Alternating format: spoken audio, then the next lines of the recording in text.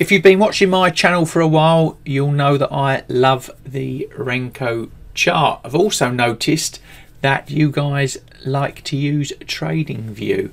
And because of that, I've put together this video on how to set up a Renko chart, the basic step-by-step -step guide to getting going with Renko in Trading View. And if you really want to learn more about Renko and try and get that trading edge for 2023 and beyond, then at the end of the video, a big playlist put together from the channel all about the Renko chart, strategy, ideas, designs, concepts, the whole lot, all waiting for you to jump on into. But let's get started first with looking at how you set up a Renko chart on TradingView and all the important factors points you need to know when doing so.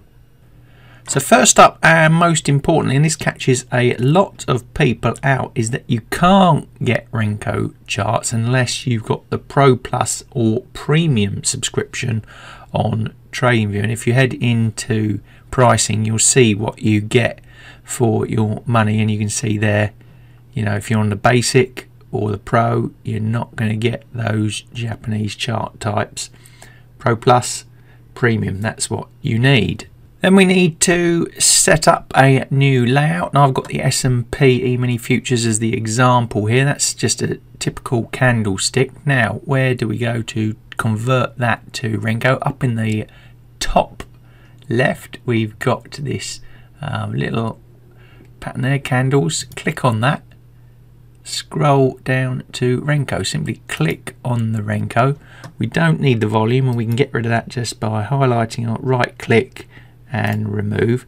Now the important thing for the setup is the block size. Now I've got a load of videos on this and a comprehensive playlist and all you need to know about Renko. That'll be at the end of this video for you to follow and I'm not going to go into the methodology here but to change the settings you've got two options. You can right click on the blocks and hit settings like that or you can just go up to the chart um, title there and hit on the three buttons and again go to the settings. Now important to note when setting up your Renko chart you've got two options for the block size. This is an automatic one using average true range ATR and you can change the length um, that's going to be the number of blocks length. So if you wanted 140, it's going to look back the last 140 blocks.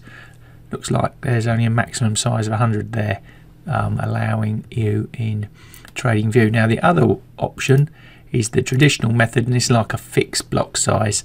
So you've got to work out what's an appropriate size number. I, for one of the uh, S&P setups, I've got to use a 30 block. So I would type that in there, hit OK and then we're starting to get our blocks. Now, another important point, back to settings.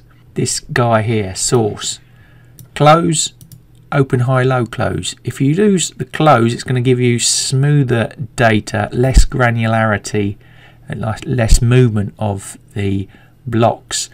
Um, if I just switch that to open, high, low, close, you'll see a change in the chart. You'll see more blocks being printed there on the the screen.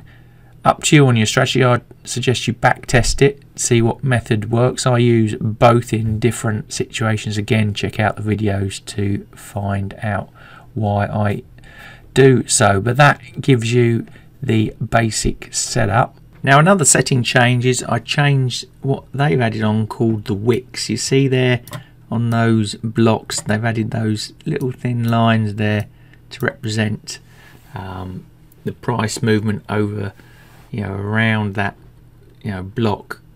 Um, but from my experience that isn't really that used a concept. Not saying it's right or wrong but it's not really that used. So I remove that again by clicking on the settings and then just removing the wick and I find actually the data is a lot clearer and more usable without the wick. If you want you want to get a bit more artistic you can create any color setup you like for the up and the down blocks completely up to you. And they've got some projection bars. Those are blocks that haven't quite um, completed yet. They're in process of being built. Another important concept is time frame. Now in TradingView it does add in time when the theory of you know Renko is it should just be price movement only. And that's because if we go again into the top we've got this period button. Now it defaults onto the chart so it's going to give you a period of time. If I show you what I mean by that you know if I change that down to one minute that has given us a lot closer you know more smaller blocks because they change every one minute. Whereas if I change that up to say weekly again you can see the time you know frame changes and it gives you a different perspective. And those blocks aren't going to complete until the week has set itself. So if you're a more active trader you might miss out on there again got video um, on you know setting up the appropriate blocks in that playlist you know if you're a scalper you might want that one minute one because it's going to print and close off every one minute so important factor there once you've got your basic setup, then the beauty of using TradingView, um, and again from what I've seen, not all chart packages allow you to put indicators on top or below the Renko charts. If you want to do that, head up to the indicators tab and have a play. Um, you know, see what you like and you want to add.